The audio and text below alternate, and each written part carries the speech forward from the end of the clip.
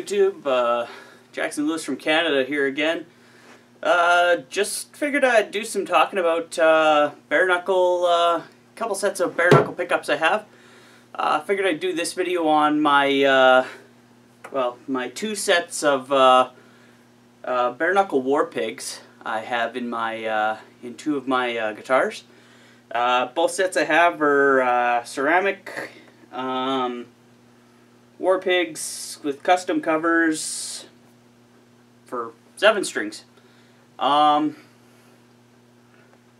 I guess really just going to start off, uh, I mean, Bare Knuckle, as uh, most people will know, uh, but those of you who are not aware, um, UK company that builds hand-wound pickups, uh, custom custom builds, custom coloring. I've got on custom covers on both my sets. Uh, you get to choose your your pole pieces, your covers, the pickup you want. Uh, they can even, if you're willing to pay the extra pocketbook money, which is uh, uh a lot, I'll admit, uh, you can even have a custom set of uh, actual pickups made, sound and everything. Um, I say the extra pocketbook money because bare knuckle pickups are already, um, they're at the very top end of what you're going to be paying for uh, for guitar pickups. Um, uh, average, I'd say an average uncovered set will cost you probably around the probably around the 300 Canadian mark, which is around two, uh, 250 US, I'd say, 225, 250 US. Uh, once you start adding custom covers and pole pieces and that kind of stuff into these pickups, the price goes up very, very quickly. Uh, I bought into it because I thought they some of them looked cool, so uh, I can sort of show you what what styles they come in here if I get out of my chair. This is uh, they call uh, camouflage uh, battle worn, so you can sort of see the picking on the sides there. It makes them look kind of worn and cool with uh, hex hex key pole black pole pieces. Um, these actually weren't even supposed to go in this guitar, but uh, they went in this one anyway because I felt like it. Because um, I was playing this as a main guitar and figured, ah, may as well have the expensive, cool sounding pickups in the main guitar. Uh, another thing for people to sort of know about uh, bare knuckle pickups is how they name, uh, sort of one of the ways they name their pickups. I'll show you this other set. This is just a battle battle worn black set. In my other seven string here, regular screw pole pieces. Um, yeah, they look cool. Uh, looking cool is only one part of the deal, as we all know. Sounding cool is even better. Uh, so, like I was sorry, I was saying about earlier, uh, one of the ways that sort of bare knuckles get their names is uh, depending on the builder. It's the builders who generally name them, from what I understand. Is names of songs. Um, so in this case, uh, War Pig, uh, War Pigs by uh, Black Sabbath. Um, and the way they, they name them is actually really kind of a kind of a cool thing. Um, does it mean you're getting that song's uh, the tone of that song from these pickups? No, but they maintain a a feel of that of that song. Um, so, I mean, I look at the song War Pigs and I sort of listen to how these sound, and you know, you're tuned into the right amplifier that they come through, and they have that feeling. Uh, one of the things I found with Black Sabbath is um, the songs sound big, uh, thick, and open, and that's exactly how these pickups sound. They're big. They've got uh, a load of bass end. Uh, you will never have to turn your bass up with using these unless that's the kind of freaky tone you're looking for because the bass in these is just huge.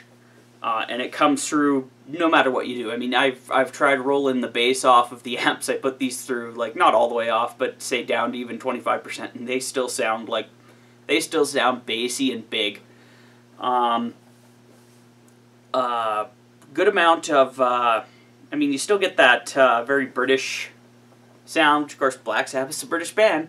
Uh, there's a good amount of mid-cut and the middle and treble are lower than the bass, but they but they cut through.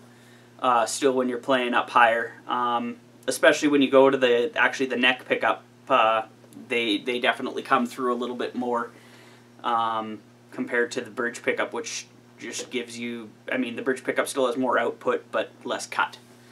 Um, I really don't know what else. There's not a whole lot else to say just by going by word. Uh, there's lots of stuff on YouTube where you can check out what these pickups sound like, and uh, honestly, uh, bare knuckle really for a lot of people comes down to wow, like wow, these prices are high, and I paid. I mean, I'm on I'm on three sets of bare knuckles now, two identical sets for these seven strings, and then a third uh, different set, which I'll be talking about in a separate video for uh, one of my six strings.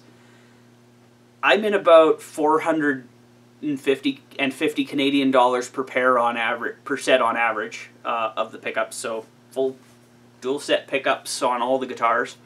Um, and I still think they're worth the money. They sound great.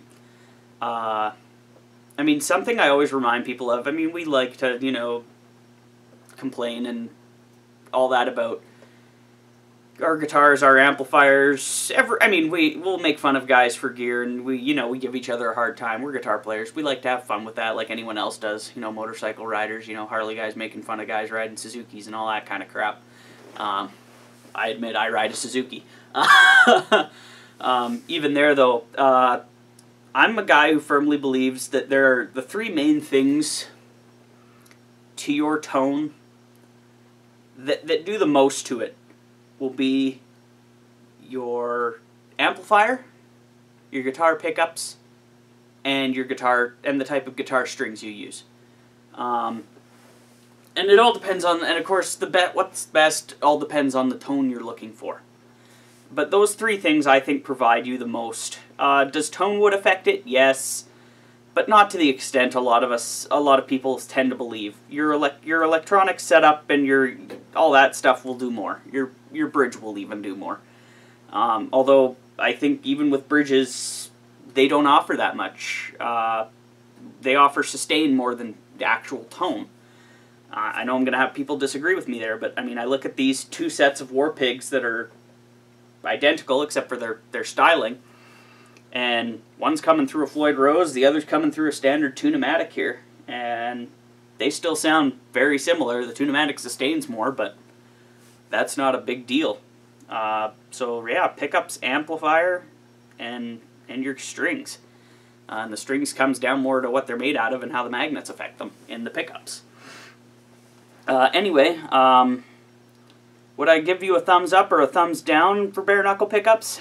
Um, it really comes down to are you it just comes down to every other every person. I, I I clearly owning three sets now say yes, buying all three sets within a year of each other. Um, I say yes, they're worth every penny. Um, they sound fantastic, but uh, I get I do get it. I'm you know, it's like I'm music. Music isn't my main my main uh, form of income in any way, shape, or form.